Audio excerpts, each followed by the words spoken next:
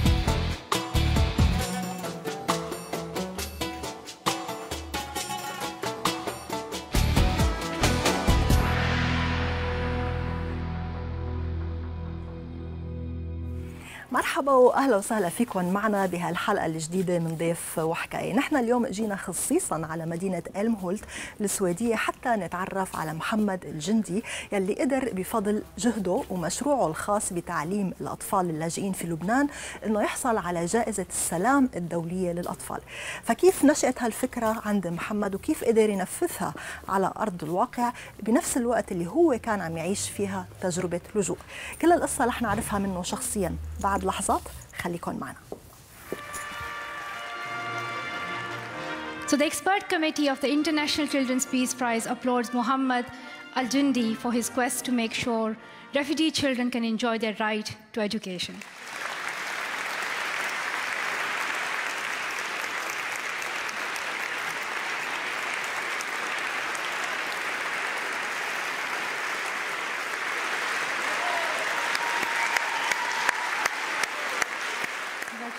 I am calling on everyone, governments, schools, university, and companies worldwide to put our strength together because every action, small or big, can make a change.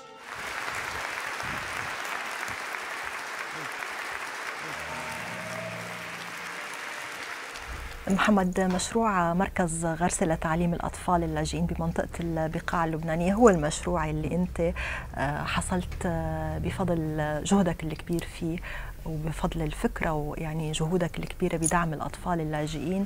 حصلت على جائزة السلام الدولية للأطفال. وهالمشروع انطلق قبل أربع سنين بالوقت اللي أنت كان في عمرك حوالي 13 سنة. صحيح. يعني أنت كنت بنفسك لسه طفل وعم تعيش تجربة لجوء في لبنان. أول شيء خبرنا أنه هاي الفكرة كيف خطرت بذهن محمد الطفل اللي عمره 13 سنة؟ هلا أنا أول ما وصلت على لبنان خضت تجربة خفيفة بالشغل بالمخيمات مع ناس عده منظمات مختلفة. بعدين بيوم ما كنت قاعد مع الأولاد. وقررنا صرت أسألهم أنتم شو شو حابين؟ يعني شو في شيء حابين يكون موجود عندكم؟ هلأ هو ما موجود. فالاغلبيه العظمى من الأولاد قالوا إنه بدنا مكان فينا نعبر عن حالنا فيه وفينا نرتاح فيه وفينا نعمل رفقه وبدنا نتعلم بدنا نطور حالنا. آه من هون هي هي كانت فكرة هي كانت فكرتهم وفكرتي بنفس الوقت إنه نعمل مدرسة. فقعدنا أنا وأهلي طبعا أهلي عندهم الفضل الكبير إنه هن ساعدوني بكتابة البروبوزل وكل هالشغلات لأني أنا ولد عمري كان 13 سنة. لأن هو فرق كبير بين إنه الواحد عنده فكرة وبين إنه ينفذها على تماما. إيه يعني أنا شفت انه صعب كثير وأنا شغلات ما بفهمها. يعني كتابة بروبوزل مشروع دراسات هدول ما بعرفها. فأنا اضطريت إني إنه إنه أتعاون مع أهلي وهذا الشيء كان أفضل شيء عملته لأنه لهيك كمان نجح المشروع بفضلهم كمان. وكتبنا بروبوزل وبلشنا نقدمه للعالم ولاقينا مين العالم لمنظمات يعني؟ أي حدا بيمرق بوجهنا منظمات رفقاتنا. حدا أول مرة تعرفت عليه بقول له عندي مشروع رح أبعث لك إياه شوف لي كيف فيك تساعدني فيه. لأنه أصلا ما كنا بنعرف هذا الشغل كيف بيصير عرفتي كيف؟ لأنه كنا ساعتنا كلنا جداد بلبنان وجداد على هذا الجو. فبلشنا نقدمه وفي شباب بألمانيا قبلوا إنه يساعدونا وصاروا يعملوا هن كمان حملات جمع تبرعات بألمانيا ويبعثوا لنا كل التبرعات على لبنان ومن هون بلشنا بالمدرسة. كيف بلشت المدرسة؟ يعني هو المشروع بدأ فكرة بعدين صار في دراسة. دراسة شو بتضمن إنه لكم طالب إنه وين بدها تكون الأرض؟ إنه شو المنهاج؟ من وين بدهم يجوا المدرسين؟ آه هاي الأمور قدرتوا تلاقوا لها حل بسرعة. لا هلا هو للصراحة هي كانت أهم فكرة عنا إياها لأنه إنه المكان المدرسة وين مت وين موقعها بالبقاع لأنه كان في كثير مخيمات بعيدة عن المدارس والمدينة يعني. محطوطة بال مثل نحن نقول بالفلا.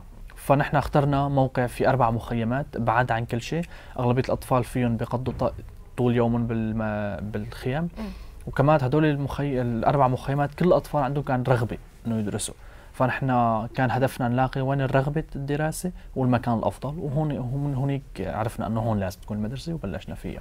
أنت وعائلتك ما كنتوا قاعدين بالمخيمات ما هيك؟ لا أنا وعائلتي كنا قاعدين بنفس المنطقة البقاع الأوسط هي بلبنان اللي فيها أغلبية المخ... أغلبية اللاجئين السوريين والمخيمات هونيك. كنا قاعدين ببيت بس ما كنا قاعدين بالمخيم مو قاعدين بالمخيمات. وين بدأ هذا العمل؟ لقيتوا الموقع بس البداية كانت في خيمة ما هيك؟ يعني شو كنتوا تقدموا للأطفال داخل خيمه هلا الخيمة كانت أربع غرف بس والإدارة كانت هي كريدور الخيمة. بس كنا نقدم لهم آه، أول بالبداية كنا نقدم لهم آه، محو أمية أغلبية الأطفال لأنه أغلبية الأطفال نحن كنا نشتغل مع أعمار صغيرة فأغلبية الأطفال بحياتهم رايحين على مدرسة فكنا نقدم لهم محو أمية. والأطفال كانوا بمدرسة بسوريا أو صار لهم فرصة إنه أول فترة قصيرة يفوتوا على مدرسة بلبنان. كنا نقدم لهم رياضيات وإنجليزي أهم شيء ولغة عربية. وبعدين صار في آه، دعم من جمعيات مختلفة بمناهج. فصرنا نعلمهم منهاج آه، ثابت له مواد وفي كتب وكله. صرنا نوزع لهم إياه. طبعا وكنا نشاطات ثانية يعني كنا نختلف مثلا حكي غني ألعاب آه، كان انه نقعد كلنا هي أكثر نشاط أنا كنت أحبه. يحكوا هن شو بدهم يحكوا افكارهم شغلات تضحك كذا. ولأني أنا كنت قريبه عمرهم كمان ما كنت أكبر منهم بكثير ف... فكنت أتسلى أنا كمان حتى معهم. أي. شو كانوا يحكوا أكثر شيء شو علقان بذهنك؟ هلأ أكثر شيء إذا هن كانوا يحكوا بجهتين كانوا كانوا يا يحكوا عن شغلات كثير يحبوها وكثير بينبسطوا هن عم بيحكوا عنها يا شغلات ما بينبسطوا ابدا سيئة يعني. فشغلات اللي انبسطوا عنها كانوا يحكوا كيف عن حياتهم بسوريا كيف كانوا. أكثر شيء هي ذكريات. عن حياتهم بسوريا وكيف كانوا يلعبوا وكيف كانوا يطلعوا وكذا. بالمخيم أغلبية الحكي إذا كنا عم نحكي عن الحاضر كان إنه كان عن حياتهم اللي هن بيعتبروها سيئه إنه هن عايشين بخيمة ما عندهم قدرة إنه يعملوا شيء. عندهم الطاقة وبدهم بس ما عندهم الفرص. فكرة العمل التطوعي يعني فكرة نعم. هي مجتمعاتنا بشكل عام ما كثير متعودة. عليها. آه أنت كيف آه دخلت بفكرة إنك أنت بدك تعمل شيء للأطفال؟ أنت مستعد إنك تستثمر وقتك وجهدك. لأنك تعمل شيء لأطفال بدون أي مقابل. بهداك العمر يعني عم نحكي عن 13 سنة.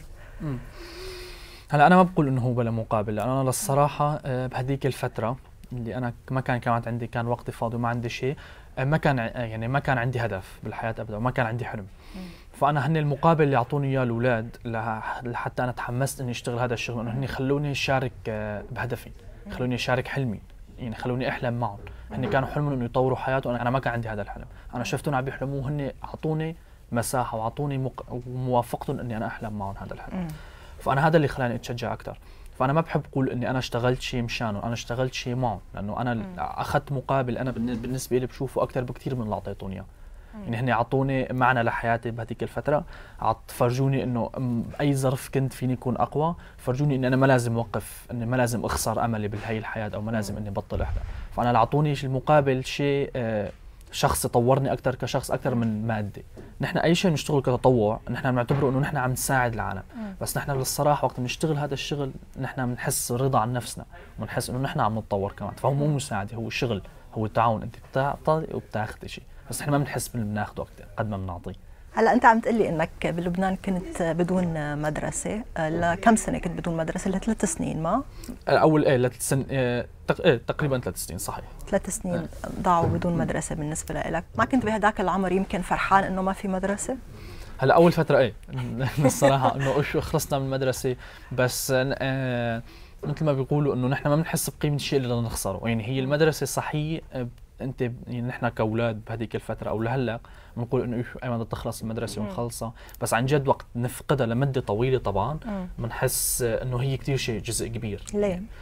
أنا أول ما وصلت على لبنان مثلا آه، ما كان عندي فرصة إني أتعرف على ناس جداد بعمري ابدا لأنه ما كنت بمدرسه ما كان عندي حياة خارج المنزل لأني ما كنت بالمدرسة.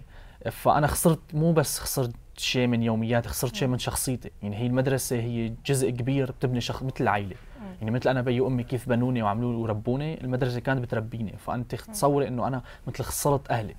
أنا هيك صرت أحس بعد فترة. أنا أنا في جزء من حياتي بنى شخصيتي خسرته.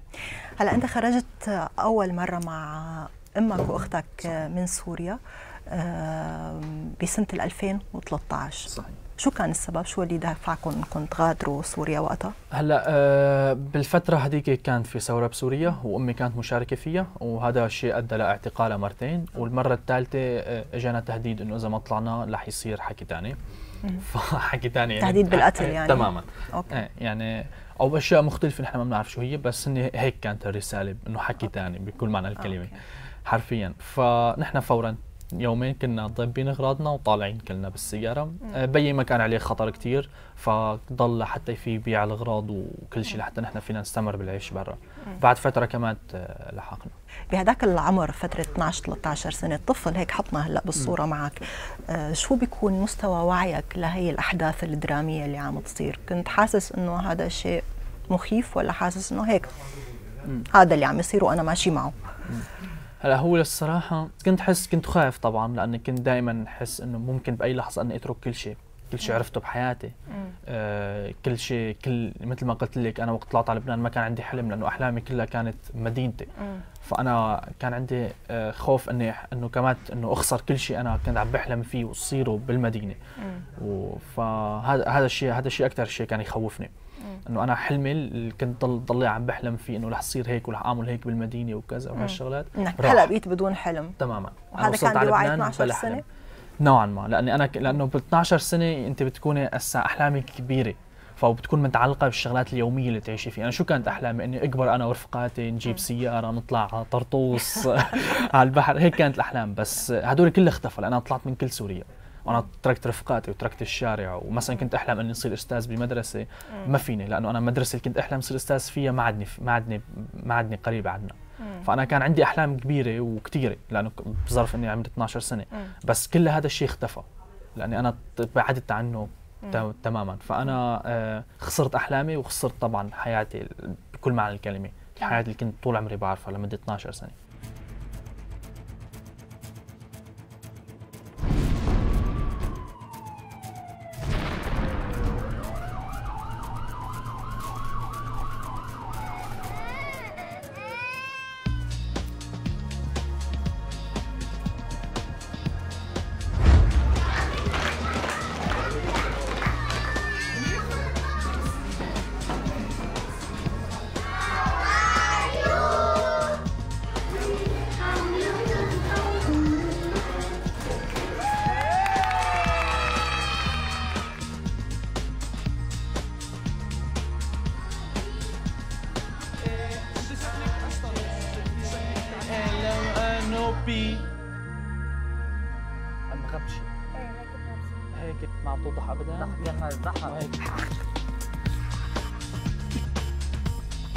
كيف ما مدرسة اليوم؟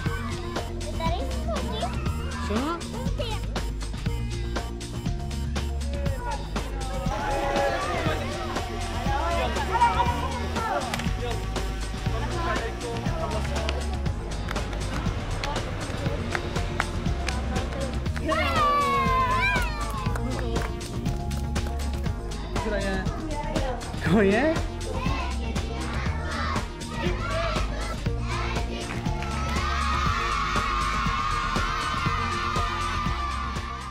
المشروع تطور محمد مع الوقت. ما أنتم بلشتوا بخيمة بمنطقة البقاع وبعدين انتقلتوا لبناء آه، رسمي.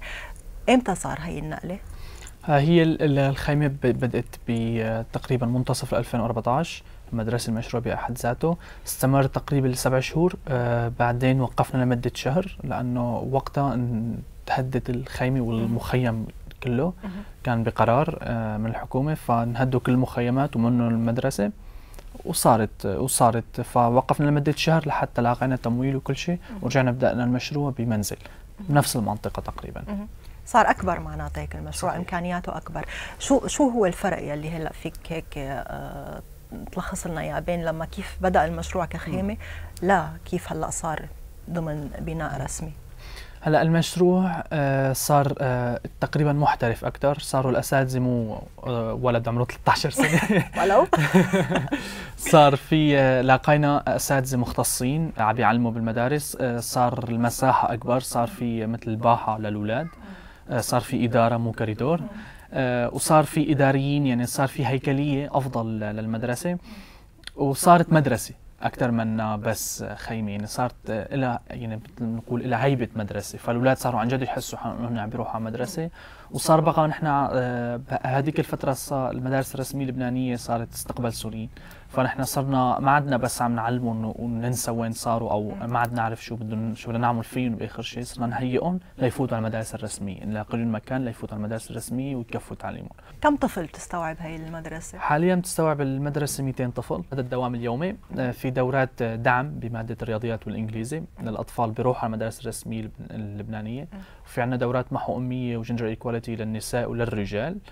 وبس لحد الآن. أكيد بحبوك الأطفال محمد. أنت قريب من قريب من عمرهم قريب من تجربتهم كمان لأنك كمان طفل لاجئ.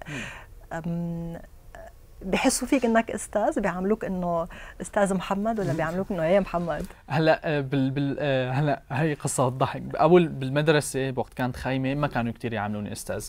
بس آه، بعد فترة وقت صارت بناء وصرت أنا أول فترة كنت عم بعلم هونيك في الأولاد الصغار وأنا كنت كبرت صار يعني كان صار عمري شيء 15 سنة فصاروا يعيطوا لي أستاذ. فبعد فترة أنا فت على المدرسة الرسمية اللبنانية وكانوا نفس الطلاب كانوا معي بالمد... كنت أنا اعلمهم كانوا معي بالمدرسة. فبالمدرسة صاروا يعيطوا لي أستاذ بس نحن اثنين طلاب. إيه بس إنه العلاقة مو يعني هن بيعيطوا لي أستاذ لأنه نحن متعودين نعيط للي بيعلمنا أستاذ. بس بس العلاقة كانت لا ما أنا علاقة أستاذ وطالب يعني أنا كنت دائما احاول في حدود طبعا لأنه أنا بدي يكون ضل عندي نوعا ما سيطرة على الأولاد مشان هدي الصف وكذا. بس بس غير هيك نحن رفقة بيحكوا اللي بدهم اياه إذا ما مو حابين ياخذوا درس اليوم بيقولوا لي بنبطل ناخذ درس. يعني أكثر ما أنا علاقة هيك أصدقاء. إنه هن هذا اللي عايزينه مو عايزين أساتذة هن هن عايزين أصدقاء. هذا شعور بالمسؤولية كبير كمان منك محمد تجاه هاي الأطفال. هذا الشعور بالمسؤولية كان أحيانا يضايقك شيء إنك أنت متحمل شيء أكثر من طاقتك. أنت بالنهاية طفل يمكن كنت تحب تلعب بتحب تجيب ثياب جديدة بتحب تقضي وقتك يمكن بالتلفزيون أو بهواياتك الثانية. اجى فترة حسيت إنه هذا أكثر من طاقتي. هلا طبعا لأنه الشغل بالمخيمات آه، ومع مع مع اللاجئين السوريين بالمخيمات ما سهل ابدا. مثل ما قلتي أول فترة آه، أول أول فكرة إنه بتصير تحس بالمسؤولية إنه أنا بلكي هذا المشروع ما عم بيفيدهم مثل ما هن بدهم. طبعا غير شيء القصص اللي بتسمعيها والأحداث اللي بتشوفيها باليوم هذا الشيء كثير آه، بي بيأثر عليك. بتصيري تقولي إنه أنا نفسيتي بتتحمل هاي الدرجة؟ مثل أو, أو بدي آخذ استراحة. يعني في كثير يعني مثلا في كان آه، مثلا في عائله كانوا هن عبارة عن ثمان أشخاص العائله يعني في أولاد كثير بس فضلوا أربعة. أوه. لأنه مات كثير عالم منهم. آه، في مثلا في في عائله كانوا البي والأم ميتين وبنت عايشة عند آه، عند مرة ما بتعرفها. بس إنه المرأة قالت إنه تعيشي عندي. ففي كثير قصص يعني هاي القصص الحزينة اللي صارت لهي. فهي أنت أنت بعد فترة آه، بتتعودي عليها. وهون المشكلة إنه أنت بتتعودي عليها. عرفت شو؟ أنا بعد فترة إنه مثل ما قلت ولد عمره 13 سنة تعود يسمع قصة إنه والله بيي مات أو رفيقي مات أو رفيقي تقنص أو هاي الشغلات. أنا تعودت على هاي القصص. وقت بقدرك إني أنا تعودت عليها يعني ما عاد عم بحس بشيء جواتي وقت عم بيقولوا لي فيها. هذا الشيء لحاله مؤلم إنه أنا okay تعودت على تعودت على الموت عرفت كيف؟ أنت ما تعودت يمكن أنت عم تحمي عم تحمي نفسك. ممكن حماية النفس بس هي للصراحة بتحسي إنه حتى هن تعودوا يحكوا هاي القصة عرفت شو؟ أو ما بعرف إذا هن يعني أنا ما ما فيني أكد لك شيء بس هذا الشيء خطر. هذا الشيء هلأ عم بيواجهنا كلنا نحن كسوريين نوعا ما إنه نحن عم نتعود على هاي الأخبار. هاي الأخبار اللي عم بتصير بسوريا هلأ ما عم تأثر فينا قد البداية لأنه صارت أحداث يومية. كيف كنت تتعامل مع هذا الشيء آه، عاطفيا ونفسيا آه، مع عائلتك يمكن؟ أكيد يعني عائلتك في لها دور كبير محمد ببناء شخصيتك بدعمك بهذا المشروع. دور العائلة بدعمك بهذا الشيء كيف فيك تشرح لنا اياه أو تصف لنا اياه هلا أنا آه كان أكثر شيء أحكي عن هاي الأشياء إنه الشغلات السيئة اللي عم بتصير معي كنت أكثر شيء أحكيها مع بيي. فهو كان له دور كثير كبير يقول لي إنه كيف أتعامل مع هيك مشاعر أو كيف آه مو أتجنبها بس كيف إنه آه شو اسمه أحويها بمكان يخليني أطور شغلي أكثر وكيف خليني إنه إنه نظم يعني نظم مشاعري. ما بعرف إذا كثير فكرة واضحة بس إنه بحيث إنه هلأ أنا بدي أشتغل فأنا ما لازم كثير أفكر بهدول الأمور. بس أنا كانت ما لازم أنساها لأنه هي بتضل موجودة. فكان أكثر شيء هذا الأحاديث تدور بيني وبين بيي. أما بالنسبة لمثلا عائلتي يعني أمي كنا ندور أكثر شيء أحاديث إذا طفل قال لي شو أنا لازم رد عليه. عرفتي كيف؟ يعني كانت لأنه نحن كنا كنا نحن اثنين نشتغل بالمدرسة.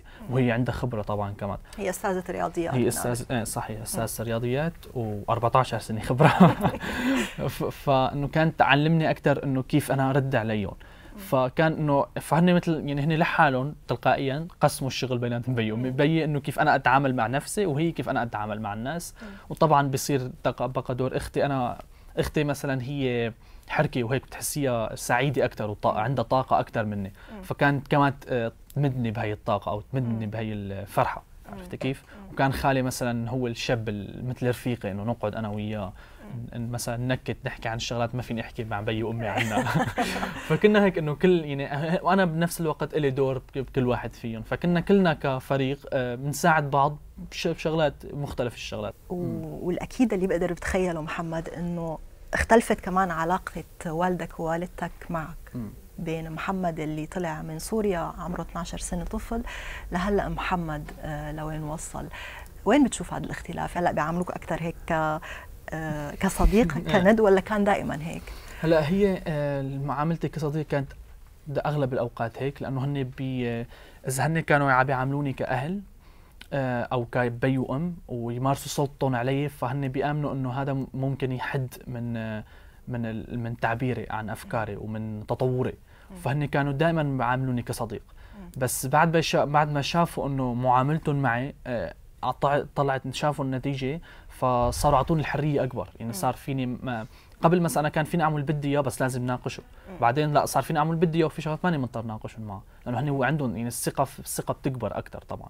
فطبعا هلأ صاروا يعني هلأ مثلا بيقول لي بيا وامي بيقول لي هلأ إذا رحت عشت لحالك نحن ما عندنا مشكلة يعني صرنا بنوثق فيك إنه بهي القصة. عرفت شو؟ يعني الثقة مثلا الولد بي بيكسب ثقة أهله 18 16 آه 19 سنة أنا كسبتها 16 سنة. كنت جاهز. ضب اغراضي وبروح. هلأ صار لك شهر أنت موجود في السويد انضميت لوالدك هو آه، افترق عنكم آه، بعد ما طلعتوا للبنان اجى على السويد وهلأ أنت من شهر انضميت لهون. هل هذا بيعني إنه هلأ المدرسة غرسه آه، رح تسكر لأنه محمد ما عاد موجود أو هي مستمرة؟ هلأ نحن كنا من بداية المشروع كنا كثير منتبهين على فكرة إنه المدرسة ما متعلقة بشخص. فهي ما كانت بحياتها ما كانت متعلقة فيه ف... فلا ما رح تسكر طبعا المدرسة بس هي متعلقة بالتمويل فهي هي متعلقة هي الشخص فهلا هي المدرسة نحن هلا كل سنة بنواجه هاي الفكرة آه إنه كل سنة ممكن تسكر. هلا يعني هلا مثلا بالشهر الرابع في خطر إنه تسكر المدرسة. هلا بعد ثلاث شهور. بعد ثلاث شهور تماما. الجائزة هي قيمتها 100000 آه، يورو. صح. هل هي ال ألف يورو فيك أنت تستثمرها بالمدرسة؟ فيك مم. تدعم مشروع فيها أو شو وضع المصاري؟ مم. هلا ال ألف يورو هي آه، استثمار من قبل KidsRights Foundation بالثيم اللي أنا ربحت فيه المنظمة. من قبل آه، هن بيستثمروا بالمش بنفس الفكرة أنا كنت عم بشتغل فيها واللي هي التعليم. فهي مو مو لمشروعي حتى. آه. هن هن بيستثمروا فيها بأي مشروع بدهم إياه. له علاقة بالتعليم ممكن يكون بلبنان ممكن يكون تركيا ممكن يكون بالأردن ممكن يكون بأفريقيا مثل ما بدهم. بس المهم يكون له علاقة بالتعليم. بس أنا فيني أقدم مشروعي. بس بس مثل ما قلت إنه هي مو مو مو لي شخصيا وأنا ما لي علاقة فيها ابدا. طب إذا هلأ حدا من المشاهدين اللي عم يشوفونا عجبته كمان فكرة المدرسة محمد وحب إنه يقدم لكم الدعم كيف فينه يتواصل معك؟ هلا طبعا معكم. آه. هلا طبعا لأنه أنا هون فهلا صار شغلي أكثر شيء إنه أتواصل مع هدول من العالم اللي حب عندهم اهتمام بالمدرسة ففيني يتواصلوا معي على الإيميل شخصيا.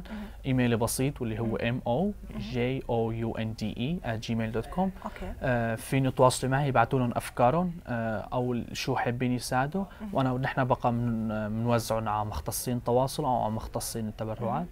وهون بنصير في تعاون. طبعا هذا الشيء مهم لأنه نحن المدرسة ولهلأ هي مبنية على أشخاص حبوا يعطوا شيء للعالم. فحلو إنه أنا أشوف عالم كانت مهتمه بالشيء اللي عم نشتغله أو مهتمه بالأولاد. حلو إنه تستمر هالمدرسة لأن لهلأ عم تفيد عدد كبير من الأطفال اللي لسه ما دخلوا يمكن مدارس رسمية في لبنان. مم. انت هلا محمد بوجودك في السويد ما صار لك شهر يعني لسه ما فينا نقول شو أنجزت أو شو عملت. حاليا عم تزور مدرسة صحيح. تحضيرا للدخول للجامعة على مستوى النشاط الاجتماعي. آه، بسبب وجودك هون هل رح توقف شغلك مع اللاجئين أو عندك أفكار ثانية هلا آه، طبعا عندي أفكار ثانية هلا بس هون الأفكار صارت أكثر منها أكاديمية. يعني هلا صار هون آه، عندي محاضرات مع أكثر من مدرسة هون مع اللاجئين ومع السويديين. وهلا هاي فترة الشهر أنا عم بحاول أفهم طبيعة تفكير اللاجئين الموجودين هون من السوريين أو من مختلف الجنسيات لأنه في لاجئين من مختلف الجنسيات. نوعا ما فهمتها. هلا بهذا الزمن في كتير ببين آه، فصل. فصل فصل بين أهل المنطقة يعني السويديين وأي لاجئين من جايين من أي منطقة كانت. في فصل نوعا ما آه، فكري أكثر منه اجتماعي. فعم نحاول نشتغل على هي اختلاف فكري تماما مثل اختلاف ثقافات خلينا نقول في فصل ثقافات بيناتهم. فعم نحاول نشتغل على هذا الشيء هذا الاختلاف نقلله ونخليهم كلهم يكونوا يشتغلوا ككتلة نوعا ما. فهي الفكرة المشروع هلأ بس هسه ما في شيء واضح لحد الآن. لسه الفترة قصيرة يعني لبين ما تبدأ تحضر وتنطلق بدك إيه. شوية وقت. شو بتحلم محمد؟ هلا أنا آه طبعا بحلم أحلامي ما كثير أنا بحلم الصراحه لأنه مثل ما قلت لك التجربة اللي أنا مريت فيها خل خلتني خاف من هي القصة. بس بس بحلم إنه طبعا إنه أحلامي للمدى القصير إنه تستمر المدرسة مثلا. بحلم للمدى البعيد إنه إنه كلنا آه نرجع واللي هو حلم صعب بس إنه بتمنى إنه نرجع ونرجع على مكان أفضل نرجع على المكان اللي نحن كنا نحلم فيه. وقت بلشنا بالثورة. بس آه هذا حلم صعب بس وجزء نوعا ما مستحيل بس فينا يعني إحنا عملنا المستحيل من قبل وفينا نعمله.